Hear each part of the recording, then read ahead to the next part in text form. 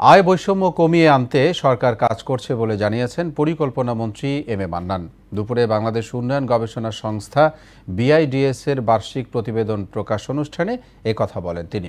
এ সময় মাথাপিছু আয়ে বেশি পার্থক্য না থাকায় গ্রাম শহরের ধারণা থেকে বের হয়ে আসার পরামর্শ দিয়েছেন মন্ত্রী। এম আর আসাদের রিপোর্ট।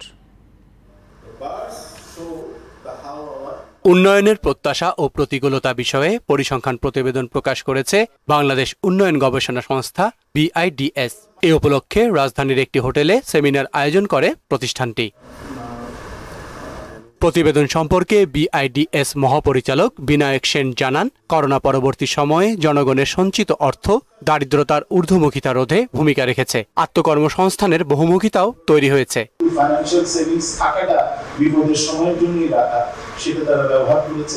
আয় বৈষম্য উন্নয়নের পথে বড় বাধা উল্লেখ করে পরিকল্পনা মন্ত্রী বলেন সম্পদ বৃদ্ধির পাশাপাশি অর্থনৈতিক ও সামাজিক বৈষম্য কমাতে কাজ করছে সরকার। এখন যেহেতু মোটামুটি তিন বেলায় খাচ্ছি এখন কে মোটা চাল খাচ্ছি কে সরু চাল খাচ্ছি কে মাংস খাচ্ছি কে শাক খাচ্ছি এইসব বিবেচনায় আসছে।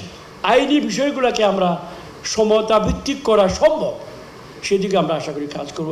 এটা করলে আমরা বৈষম্যের জ্বালাটাকে কিছুটা কমিয়ে আনতে পারব।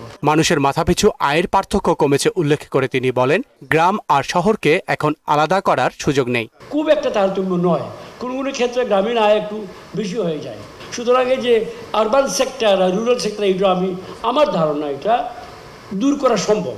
গৃহস্থ কর্মে নারীর ভূমিকার তথ্য সংগ্রহ ও তালিকাভুক্ত করতেও নির্দেশনা দেন পরিকল্পনা মন্ত্রী M A Mannan. Zero line থেকে তারা একটু সামান্য উপরে উঠতে পেরেছেন। এম আর আসাদ মোহনা সংবাদ ঢাকা।